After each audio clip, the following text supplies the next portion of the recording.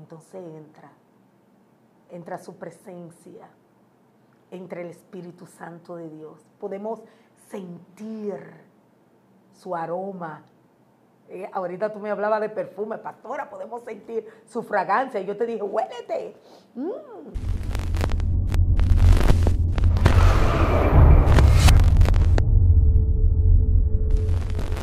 Dios te bendiga, Dios te guarde. Estamos agradecidos de Dios y también de tu persona de que le hayas dado play a este video.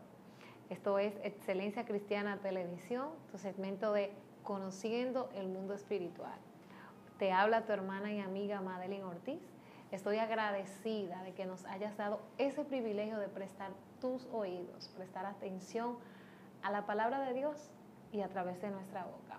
Hoy tenemos una mujer de Dios que trae una palabra fresca una palabra de vida, de aliento, de sanidad. Y yo no quiero que tú te muevas de ahí porque le voy a dar el privilegio a ella de que sea quien se presente y se alude a la audiencia. Amada pastora, Dios bendiga. bendiciones, bendiciones. Estoy tan contenta de estar nueva vez con ustedes. Esto es poderoso. Quiero saludar a todos los televidentes que están ahí atentos a este programa, que ya es una costumbre para todos estar ahí pendientes de Excelencia Cristiana Televisión. Esta hora será una hora maravillosa, así que no te muevas de tu asiento porque Dios va a hacer grandes cosas. Y es que, Madrid, vamos a hablar de alguien que a mí me encanta. Me, fascina hablar. ya yo me lo estoy saboreando. Sí.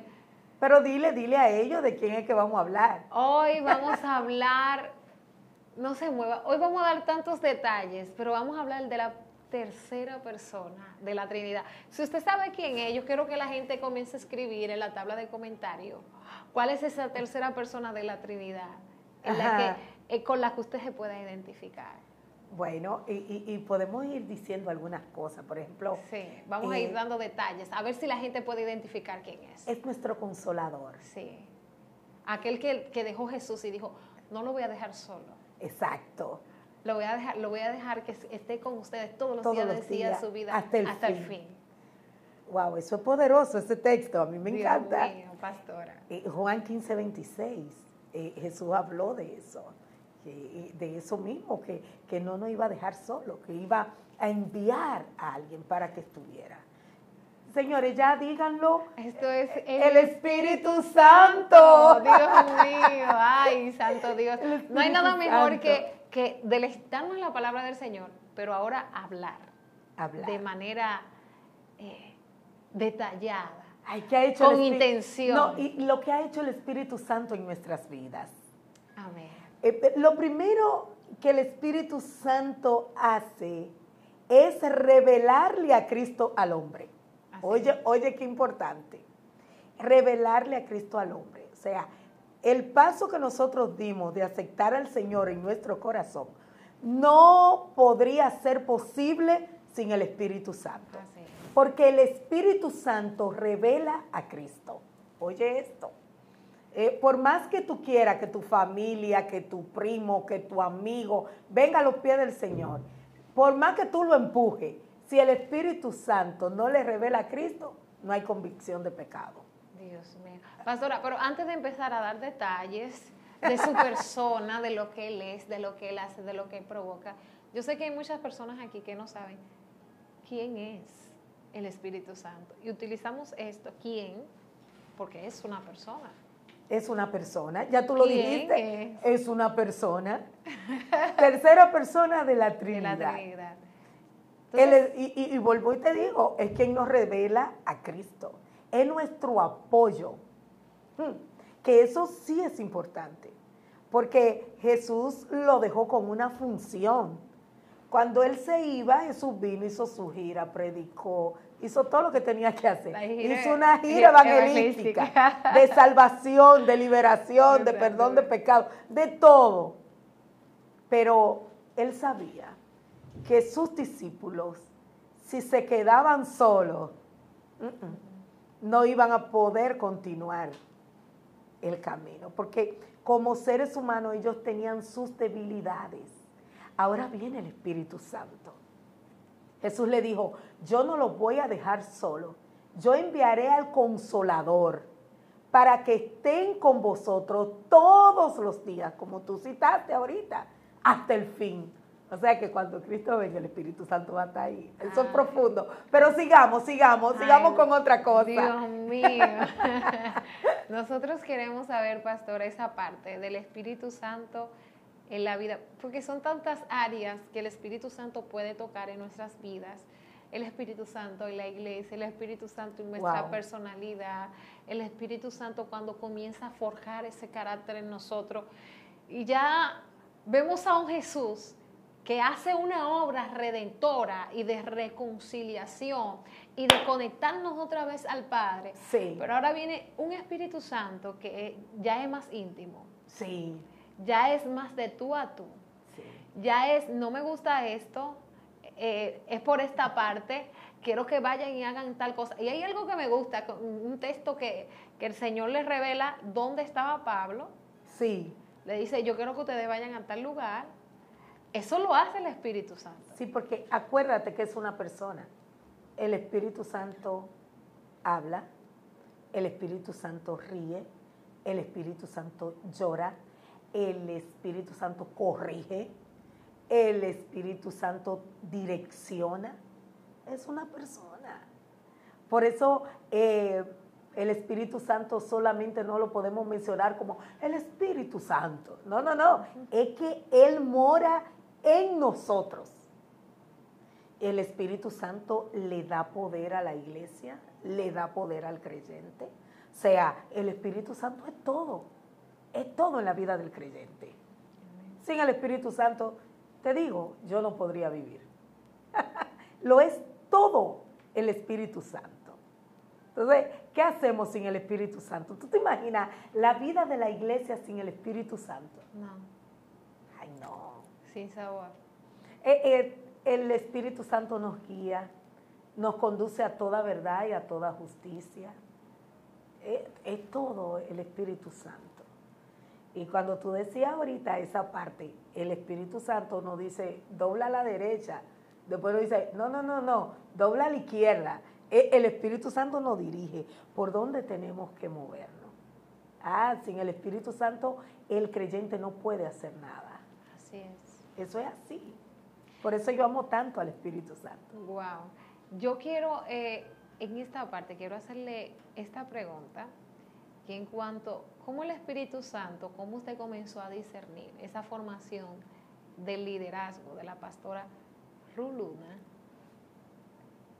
Dice el niño, bueno, el Espíritu Santo comenzó a conocer esa disciplina, como dice la parte en Hebreos 12:11, ninguna disciplina al presente es causa de gozo. Pero usted dice, bueno, esta disciplina, disciplina del Espíritu Santo, es de parte de Dios.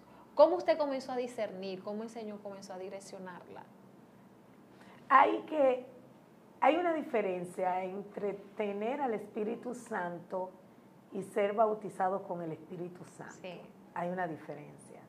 Cuando uno llega al Señor, se convierte, o sea, da el paso de fe, el Espíritu Santo entra en nosotros. Pero ahí el Espíritu Santo te va diciendo, te va señalando, tú te vas sintiendo que hay cosas que tú hacías en tu vida anterior que ya no puedes hacer. Y eso te lo va revelando el Espíritu Santo, porque el Espíritu Santo revela. Entonces tú te vas sintiendo que eso que hablaste como que no, no, fue bueno y porque el Espíritu Santo te lo hace sentir. y, eso es como esa película y esos muñequitos que, uno ve eh, en la televisión, que te presenta el muñequito bueno y el, malo. Entonces se unen los dos ahí. Entonces, pero eso es eh, el Espíritu Santo. El Espíritu Santo, que, eh, que para nosotros es el Espíritu Santo que te va diciendo, no, no lo digas, no hables eso, no, veas eso. No te comportes de, no te comportes de tal manera. Eso que tú sientes que te está eh, hablando en un momento, eso es el Espíritu Santo. Entonces, cuando uno eh, llega a los caminos del Señor, el Espíritu Santo te va revelando esas cosas. Ahora, el, bautismo del Espíritu Santo lo que, lo que hace es que te da el poder para tú deshacer las obras del diablo. O sea, esas tentaciones que llegan a tu vida de hacer lo que al Espíritu Santo no le gusta y de hacer las cosas que a Dios no le agrada, entonces ahí con el poder del Espíritu Santo, ese bautismo que te da, eh, que te santifica y te provee esa autoridad del cielo. Entonces ahí es que tú comienzas y dices, te ato, te reprendo, diablo, vete de aquí, agarra tu maleta, Satanás, y vete de aquí como el corito. Y el diablo tiene que huir, tiene que huir, porque el Espíritu Santo te da el poder para hacerlo. Entonces, esa disciplina eh, y esas experiencias tú la vas teniendo precisamente desde el momento que tú aceptas a Cristo en tu corazón, tú vas teniendo al Espíritu Santo, pero tú no te puedes quedar ahí, tú necesitas también el poder del Espíritu Santo. Esa llenura. Sí, esa llenura. O sea, no es solamente conformarme con que yo recibí a Cristo, Él me lo reveló, el Espíritu Santo me reveló a Cristo, yo lo acepté. Después de ahí hay que pedirlo para que pase lo que pasó en el aposento alto. ¿Eh? Por eso hay que pedirlo. Entonces, el Señor, lléname. Porque una de las formas de conocer cuando estamos bautizados con el Espíritu Santo, ese bautismo del Espíritu Santo, es hablar en otras lenguas. El apóstol Pablo habla claro de eso en el libro de los Corintios y, en otros capítulos de la Biblia, de cómo nosotros podemos recibir esa llenura y qué pasa cuando el pueblo, cuando el pueblo recibe el poder del Espíritu Santo. Así es. Pastora, eh, estuvimos hablando en segmentos anteriores de que usted viene de un hogar cristiano. Sí, por la gracia de Dios. Sí, ese privilegio, eh, tuvo ese privilegio de, de, ser instruida. Sí, así es. O sea que todo su entorno le hablaba acerca de Dios. Pero a veces somos criados en el Evangelio, pero el Evangelio no hemos tenido nuestras propias experiencias. Mm, mira, eso era algo que mi papá y mi mamá siempre me enfatizaban. A mí, a mi hermana, nos decía, es que ustedes tienen que tener una experiencia con el Espíritu Santo.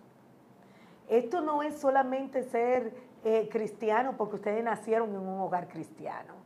Es que ustedes tienen que orar. Es que ustedes tienen que pedirle al Espíritu Santo que la llene con su Espíritu Santo.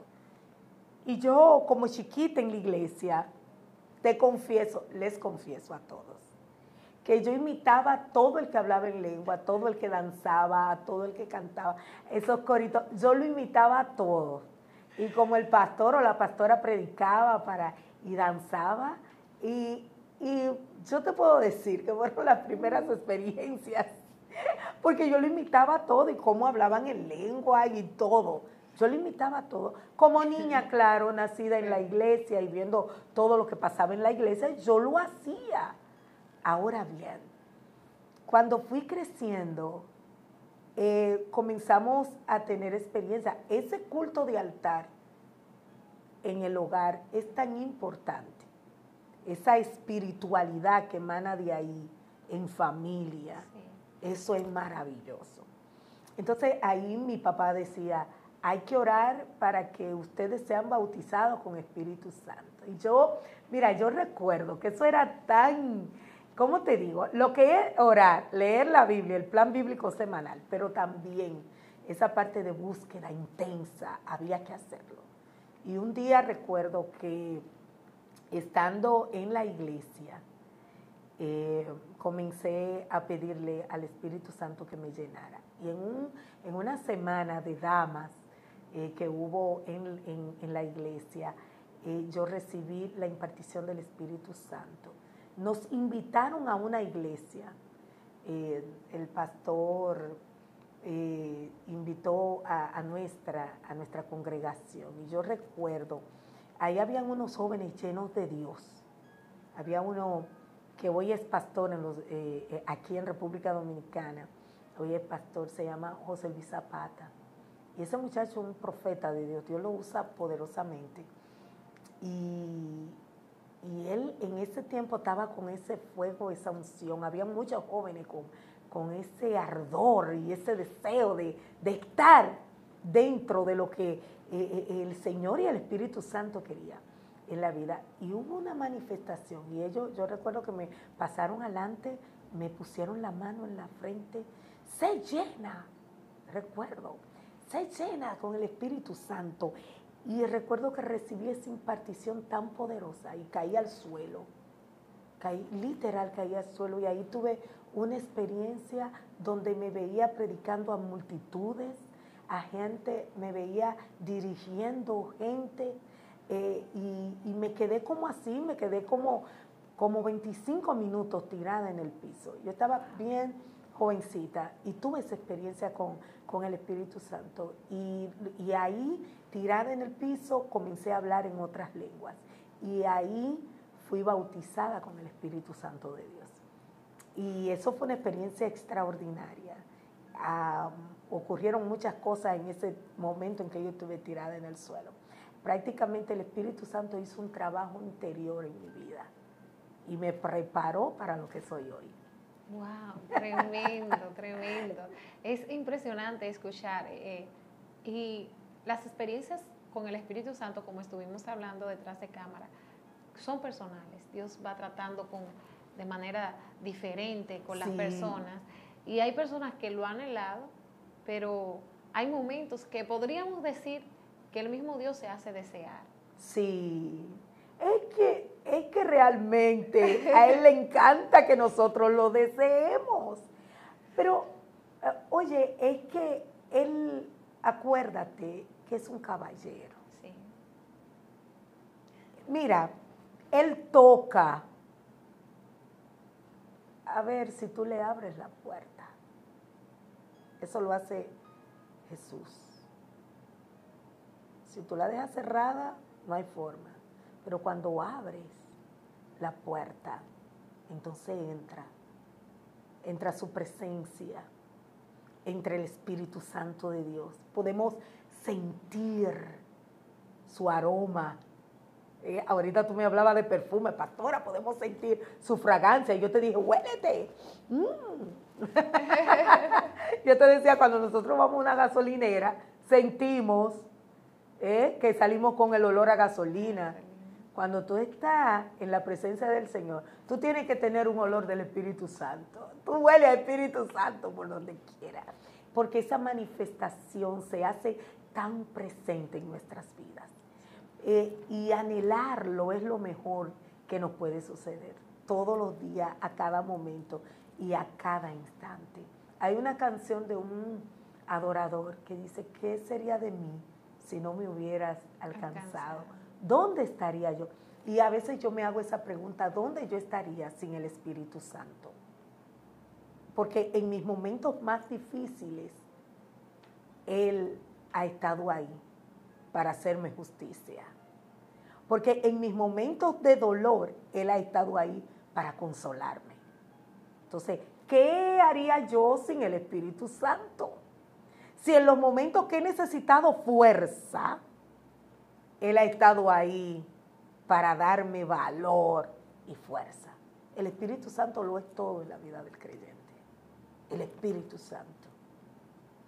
nosotros somos afortunados de tener al Padre de tener al Hijo y de tener al Espíritu Santo. A mí no me pueden sacar de uno de ellos, porque los tres tienen sus funciones, aunque son uno.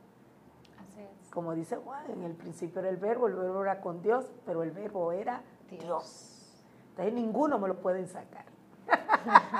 Yo los quiero a los tres, lo amo a los tres, pero el Espíritu Santo hay que tener una relación especial con Él. Cerquita, cerquita. Cerquita, es que lo necesitamos. La iglesia necesita al Espíritu Santo. Como seres humanos nosotros necesitamos al Espíritu Santo. O sea, en todo. Todo lo que nosotros hacemos necesita estar respaldado por el Espíritu Santo de Dios. Entonces, ya. Esta, esta pregunta sería un tantito personal, así como usted comenzó a hablar en la parte de las experiencias. Sí.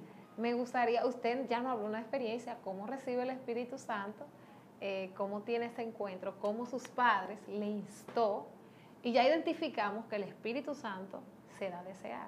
Sí, claro. Entonces, ¿cuál es la experiencia que la pastora Ruluna y, dice, bueno, esta experiencia marcó un antes, o podría decir, la que más he disfrutado con el Espíritu Santo, porque hay experiencias que tenemos con el Espíritu Santo que realmente no la disfrutamos porque son enderezate, por aquí, no lo haga.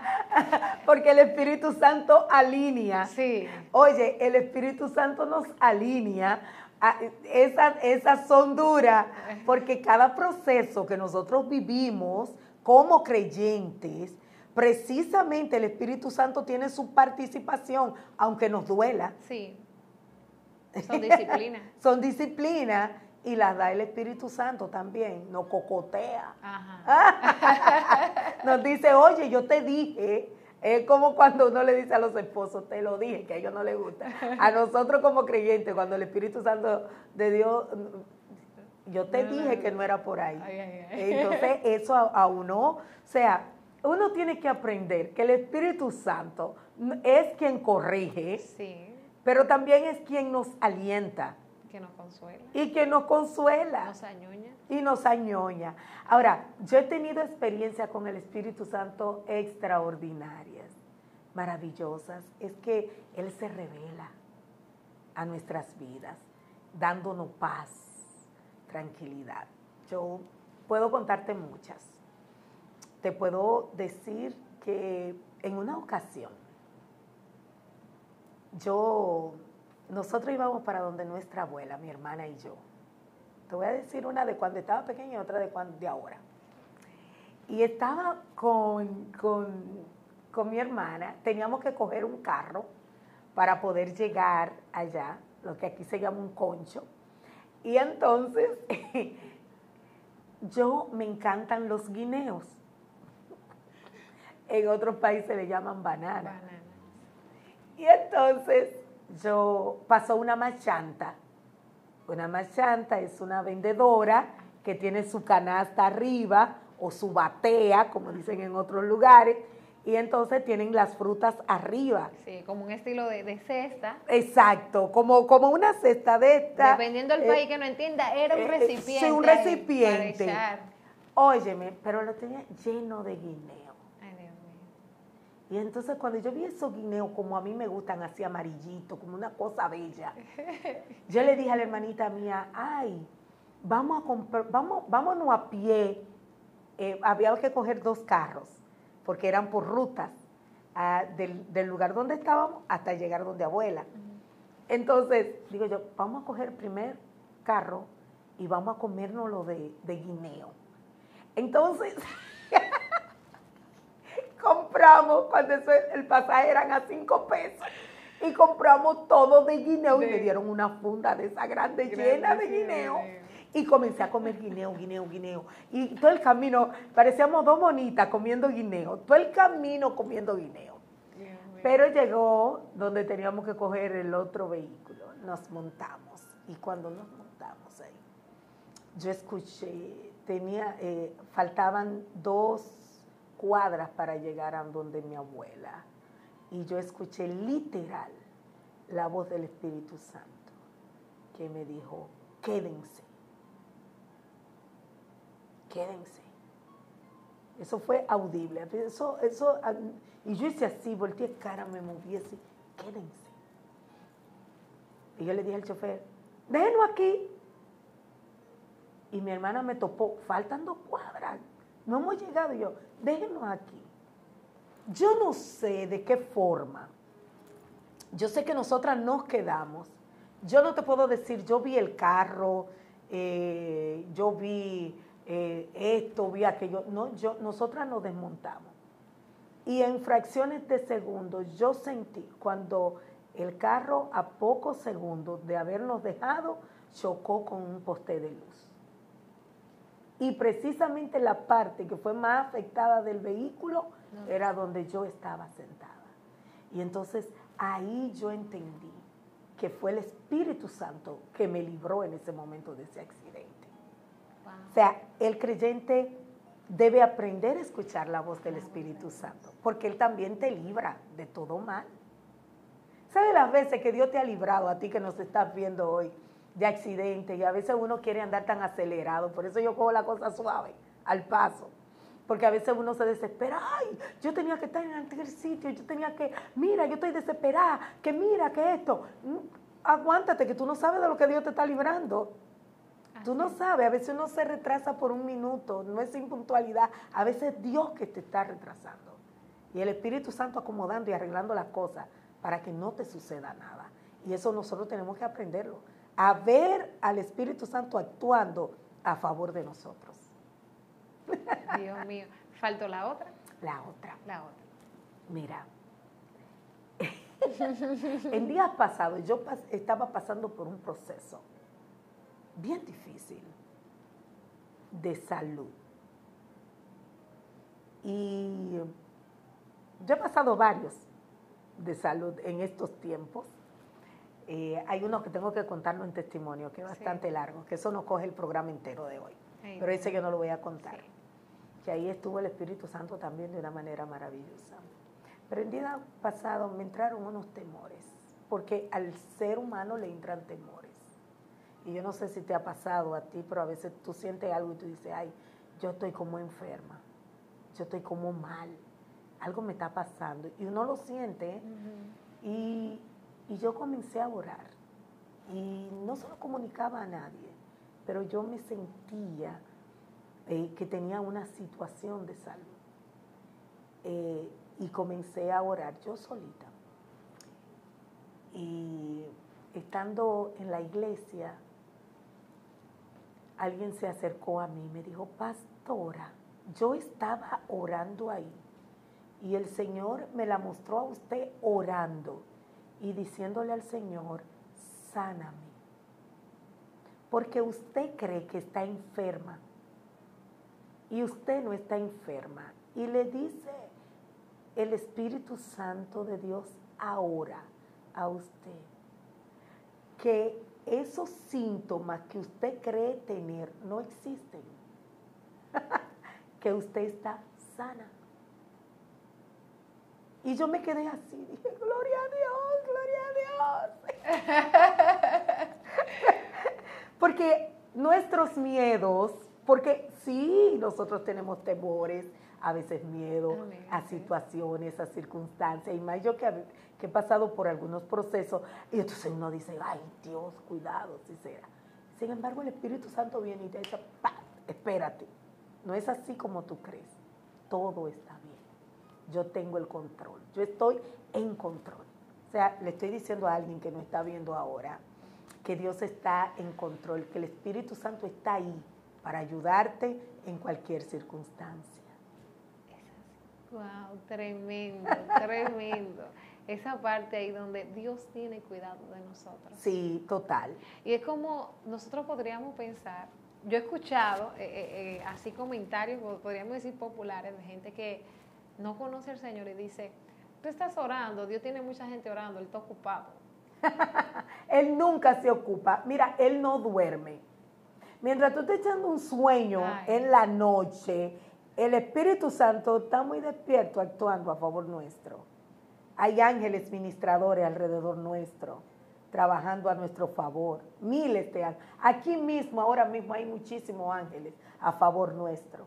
Por eso yo no le tengo temor a nada de, que nos pueda ocurrir, que nos pueda pasar. Puede llegar en un momento que tú sientas como humano, pero de repente el Espíritu Santo te habla, te activa y te dice, tranquila, quieta. tranquila, yo estoy contigo. No te dejo, no te desamparo. ¿eh? El Espíritu Santo está con nosotros. Sí, y esa es la parte donde nosotros tenemos que estar confiadamente, tranquilos, serenos, esperando así su cuidado, porque Dios tiene cuidado de nosotros. A veces hay momentos, pastora, que nosotros dudamos del cuidado de Dios. Sí. Porque estamos mirando ver todo nuestro alrededor pero este salmo dice, caerán a tu lado mil. Diez mil a tu diestra. Y a ti. No llegarán. O sea, tiene que caer, algo tiene que acontecer, que te haga sentir. Sí. tiene, tiene que suceder. Y, eso es lo que nos da a nosotros la fortaleza para seguir adelante. Eso es lo que nos da a nosotros el, el aval para nosotros decir, yo tengo un Dios que hace justicia por mí. porque el Espíritu Santo te lleva a verdad y a justicia. Cuando quieren hacer injusticia contigo, el Espíritu Santo te lleva a verdad y a justicia, porque Él actúa con justicia. Y eso me encanta del Espíritu Santo de Dios, la forma en que Él nos defiende. Él pelea por nosotros. ¿Sabe lo que es el Espíritu Santo pelear por nosotros? Eso es maravilloso. Entonces, eh, no hay palabras para describir lo que es el Espíritu Santo en la vida del creyente. Es todo, es maravilloso. Y, esa intimidad. A mí me gusta un libro de Benny Hinn que dice, Buenos, días, Espíritu, Santo. Cuando ese libro salió, yo recuerdo que yo me sentía como, wow, como buenos días, Espíritu Santo. Como, yo decía, como que suena refrescante. Como que suena como, como así, como hay que leer ese libro. Y cuando comencé a leer las experiencias de este hombre con el Espíritu Santo, me impresionó, me marcó, me, encantó. Y, siempre he dicho, cada experiencia de cada uno de nosotros es diferente. Marca, mira, la vida en el creyente, teniendo al Espíritu Santo, marca un antes y un después también. ¿Tú te acuerdas los discípulos que iban a la hora novena a orar en el templo? Ellos iban todos los días. Pero después que llegó la manifestación del Espíritu Santo, fue que ellos se dieron cuenta que ahí había alguien que necesitaba un milagro y que pedía una limosna. Mientras el Espíritu Santo de Dios no había llegado, el Pentecostés, ellos no habían, no, ellos no se habían detenido a ver a esa persona. Ellos le pasaban por el lado. Eso nos pasa a nosotros como creyentes. Cuando nosotros no tenemos la unción del Espíritu Santo, le pasamos por el lado a todo el mundo. No nos detenemos, no lo miramos, no nos damos cuenta de sus necesidades. Pero cuando ellos se detuvieron, fue el Espíritu Santo que los detuvo. Porque ese hombre estaba ahí siempre. Pero el Espíritu Santo los detuvo porque ya había llegado la manifestación del Espíritu Santo. Por eso el creyente que no tiene el Espíritu Santo, el poder del Espíritu Santo, no está hábil para ver las necesidades de sus hermanos. Así es. ¿Y quiénes son nuestros hermanos? Todo el que está alrededor nuestro, es nuestro hermano. Entonces no nos damos cuenta. Pero cuando ellos vieron, ellos le dijeron, wow, no, yo no tengo plata ni oro, pero mira, lo que yo tengo te doy. ¿Qué era lo que ellos tenían? Espíritu Santo. El Espíritu Santo. Ellos tenían varias cosas. Lo primero que tenían era el nombre a Jesús. No tengo plata ni oro, lo que tengo te doy. En el nombre de Jesús. Tenían un nombre. Y eso lo dieron dieron, dieron el poder sanador de Jesús para obrar milagros. Entonces, eso lo tenemos todo. Él nos lo entregó. Por eso la iglesia de hoy tiene que anhelar al Espíritu Santo. El creyente de hoy, cuando yo hablo de iglesia, estoy hablando de manera personal a cada persona. La iglesia viene de la palabra griega eclesia, que quiere decir llamados. Nosotros somos los llamados por Dios. Pero cada uno de estos llamados tienen que tener la presencia del Espíritu Santo. Porque la presencia del Espíritu Santo es lo que hace la diferencia en la vida de la gente. Así es. Entonces, en esta parte, hemos recibido la experiencia de la pastora personal con el Espíritu Santo tantito. No hemos escuchado, porque si comenzamos no, no, a hacer... No, ay, son muchas. Hacemos Gracias a Dios. Una serie. Sí. Una serie con la, con la pastora Hay que escribir, hay que escribir. Hay que escribir. Sí, o, sería ya en este caso un libro. Un libro, hay que escribir. Sí. Gloria al Señor. Entonces queremos saber esta parte ya, eh, la iglesia y el Espíritu Santo. La iglesia sin el Espíritu Santo es muerta. No hay vida si no hay Espíritu Santo. Por eso le digo, espérenme allá Y los convocó en el aposento alto. 120 estaban allí. Eran más, dos o tres se fueron porque se desesperaron. Ay, ay, ay. Es la parte, la oración y la, y, la espera. Y la espera. Hay que esperar. Se desesperaron. Entonces, llega, cuando llega la manifestación del Espíritu Santo a aquel lugar, cambió todo, trastornó todo lo que estaba allí. Entonces yo pregunto, la iglesia que no tiene ese viento recio o ese silbo apacible mm. del que habla la palabra, ¿eh? dime, ¿cómo los demonios se van a echar fuera? ¿Cómo habrá sanidad? ¿Eh? ¿Cómo habrá un liderazgo sólido, comprometido y entendido? Una pastoral eficaz si no hay Espíritu Santo. No. Por eso, y cuando hablo de Espíritu Santo, yo no solamente te estoy hablando de, ¿cómo te digo? De, porque a veces queremos confundir al Espíritu Santo y creemos que todo desorden es Espíritu Santo. Yo creo en la manifestación, el danzar, en hablar en lengua, pero creo en esa manifestación que, que trae conocimiento, que trae dirección, enfoque. Eh, yo creo en eso, en esa manifestación. Yo creo del Espíritu Santo que trae eso. Entonces, si no hay dirección del Espíritu Santo, la iglesia no tiene nada. Si no hay una pastoral llena del poder del Espíritu Santo, no hay nada. Si no hay una iglesia, diáconos, líderes con el Espíritu Santo, no hay nada. No hay nada. Pastora, yo me atrevería a decir, hay personas que por el asunto cultural han creído que la manifestación del Espíritu Santo es una, manifestación instantánea, en el momento. Ahora siento el Espíritu Santo y llego a mi casa y sigo mi vida doble moral. Ay, no, espérate. Efesios habla de que el Espíritu Santo se entristece porque es una persona. Eh, no entristez, no, no en, entristezcáis. Eso mismo. Al Espíritu Santo. Entonces hay gente que se complace en eso, en entristecerlo. Em, y es por no querer escuchar ni atender al Espíritu Santo. Y lo entristecen, Él se entristece. Eh, hay que luchar y el creyente tiene que luchar porque el Espíritu Santo se mantenga en gozo en nuestras vidas, contento.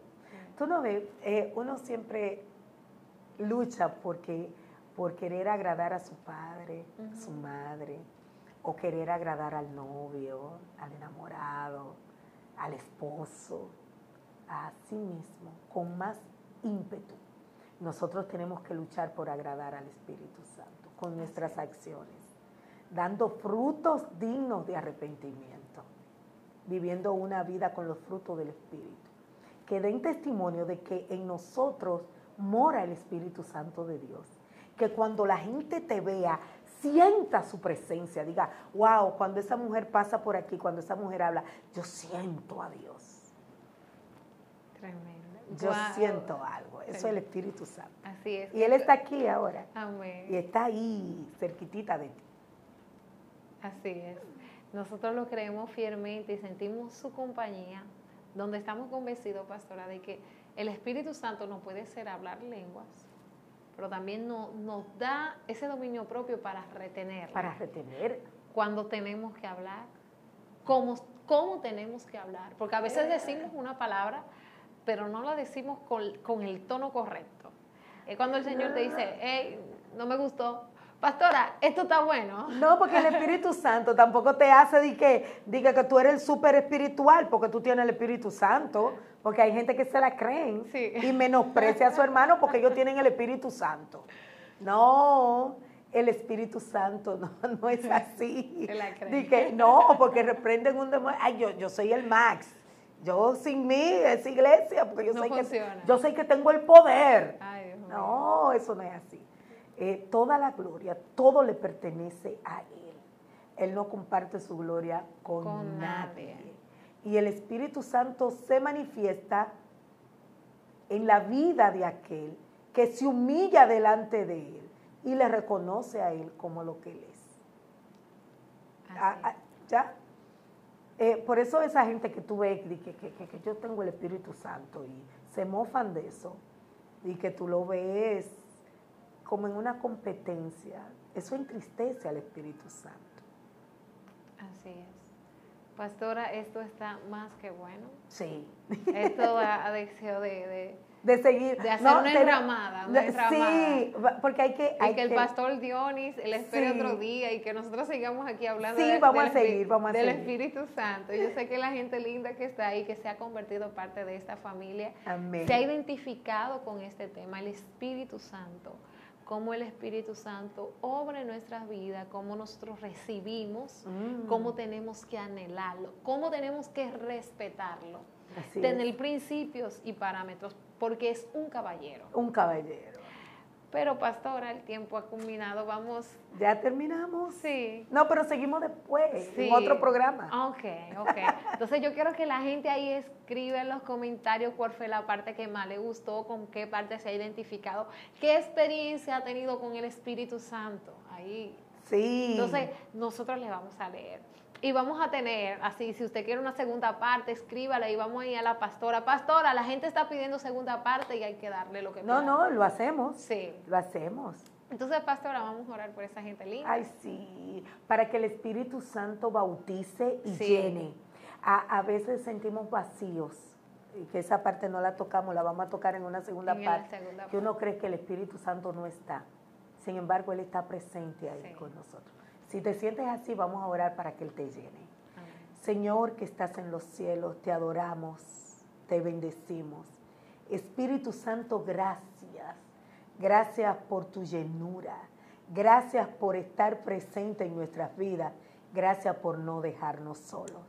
En esta hora te presentamos cada uno de los que nos están viendo en esta hora y te pedimos que tú derrame tu poder y tu bendición que así como descendiste el día de Pentecostés en el aposento alto, así descienda, oh Dios, en la vida y en los corazones de cada uno de nuestros amigos y hermanos que nos están viendo en esta hora. Gracias te damos en el nombre de Jesús. Amén y amén. Amén, Dios mío. Cuán bueno y cuán delicioso es habitar los hermanos juntos y en armonía porque allí se derrama de esa gracia, ese perfume, esa fragancia del Espíritu, del Espíritu Santo. Gloria al Señor, nuestro amigo el Espíritu Santo. Esperamos que usted también se identifique con qué parte usted se va a acercar, que se, téngalo cerca, tenga una relación no desde lejos. Amén. Eh, suscríbase si aún no lo ha hecho, active la campanita de notificaciones. Estamos en las diferentes plataformas, Instagram, Facebook, YouTube, TikTok. Así que síganos, hágase parte de esta familia. También nosotros queremos permitir que la pastora diga cómo podemos conseguir la pastora. En todas las redes sociales, Facebook, Instagram, TikTok, estamos ahí, Pastora Ruth Luna. Así que denle a seguir. Dios mío, le mandamos un fuerte abrazo desde aquí. Le amamos, aunque no a todos le conocemos, pero sí oramos desde allá porque somos una familia en Cristo, un mismo vínculo. La sangre de Cristo nos une. Dios le bendiga y esto es hasta la próxima. Dios le bendiga y Dios le guarde. Bye.